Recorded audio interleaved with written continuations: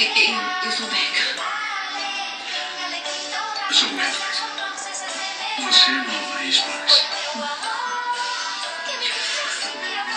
Como gosta do tempo? Eu não gosto de coisas geladas. Então, deve odiar refrigerante. Eu tô só tentando decifrar você. Muito bem, classe, abra livro na página 63. É. Aula de biologia.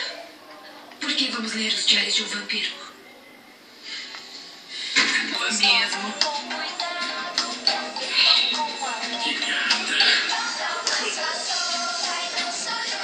Eu sou fissurado em salgadinhos.